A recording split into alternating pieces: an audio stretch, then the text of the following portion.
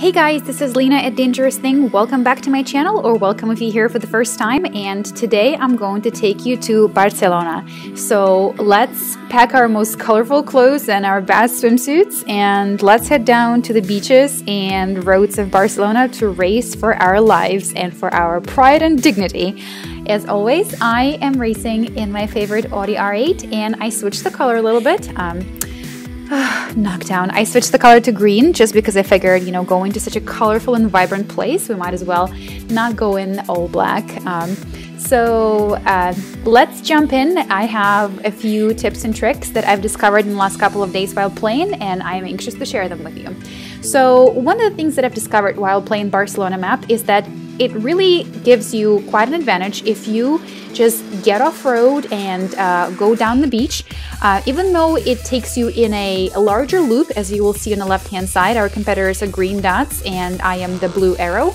Um, it takes you on a bit of a you know detour, but what it gives you a chance to do is to get more nitro, and we all know more nitro equals more you know uh, burn power and more of a uh, you know more of a takeoff and and and a, and a higher speed for short bursts of times when we need it the most.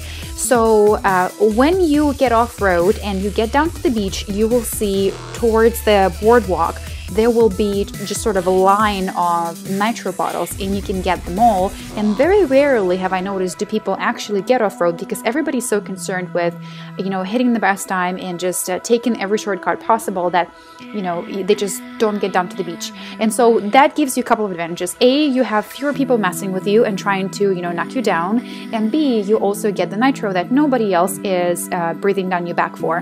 And so let's see um, how the strategy will work for me. Hopefully, it'll help me to come in top three, and uh, um, you know, even better so if I come in in top one.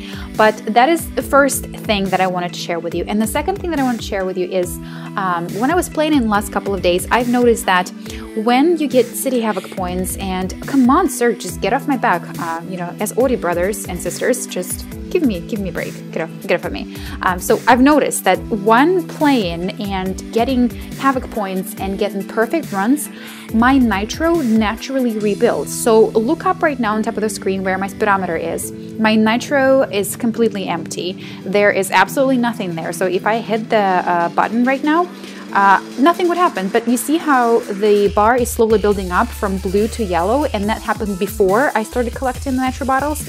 That basically tells you that when you get everything right, when you're not hitting obstacles or hitting obstacles and getting havoc points and airtime, and perfect runs, your nitro will naturally rebuild, which is a huge plus. You never want to be in a situation where you know you're running out and you know that you know if you hit everything right you know and you get yourself a perfect run and havoc points you're not going to get uh, nitro. So um, I found out that you actually do and I don't know if it's a brand new feature of Asphalt 8 or if it's always been that way and I just never paid close attention.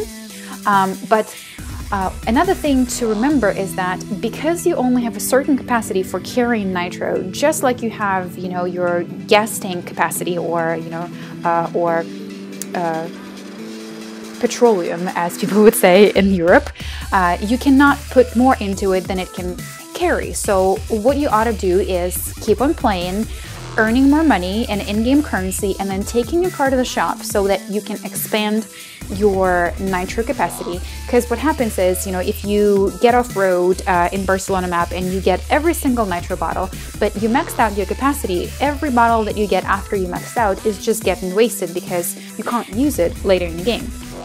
So, uh, you know, keep on playing and keep on taking your car to the shop uh, to, you know, work on your uh, maximum nitro capacity, your uh, you know acceleration, your uh, handling, and everything else. Because the more you put into your car, the better you're going to perform at the end of the race. And I am coming in in third out of four competitors, which isn't fantastic, but I will take it. This was more of an informative uh, video anyway. So let me know if these uh, tips and tricks actually helped you in your own gameplay. And uh, uh yeah, I got my ass totally whooped by that yellow Audi and by a Scion FRS. So um, I will try to use those tips and tricks in the future and let you know how they worked out for me. Hit a like button if you thought these were helpful, and I will see you guys in my next video.